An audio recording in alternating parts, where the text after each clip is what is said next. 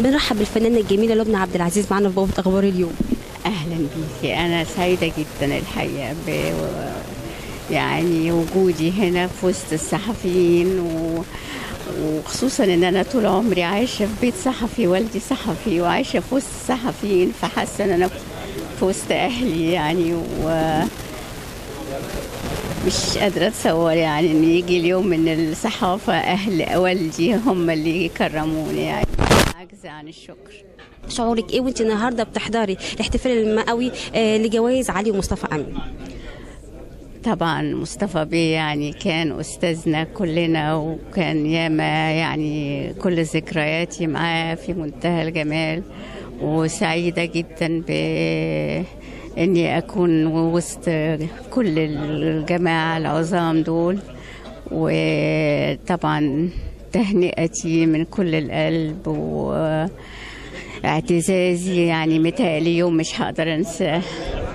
رؤيتك إيه لصحافة أخبار اليوم الفترة القادمة؟ القادمة ولا الماضية؟ طبعا طبعا وجود الأستاذ ياسر رزق هيعمل فرق كبير جدا جدا في أخبار اليوم. آه طول عمرنا عايشين يعني بحسها وعايشين آه لكل يوم سبت و واعتقد إنها ستستعيد العظمة وال وال والقامة اللي كانت فيها. وابتدت فعلا ابتدت فعلا نشوف فرق كبير فيها وما في شك إن يعني المستقبل هيكون أعظم وأعظم إن شاء الله إن شاء الله.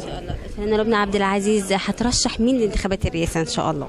فندم هترشحي مين لانتخابات الرئاسة إن شاء الله السنة دي؟ السيسي طبعا.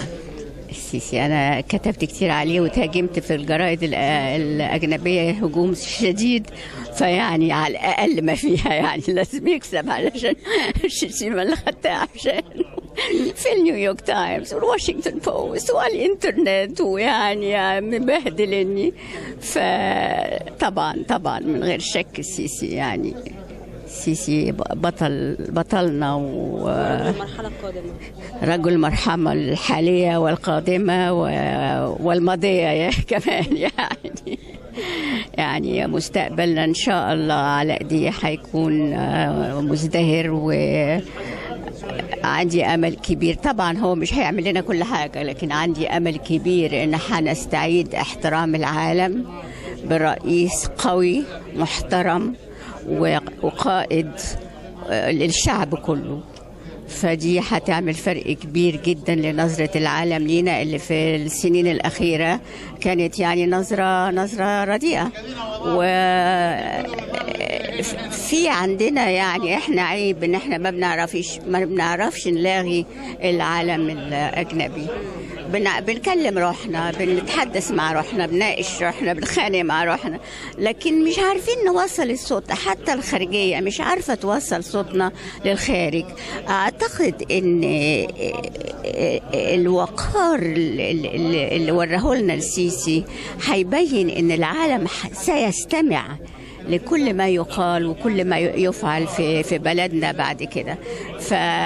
فوجوده واحترام العالم له هيعمل فرق كبير جدا لنظرة العالم لينا إن شاء الله.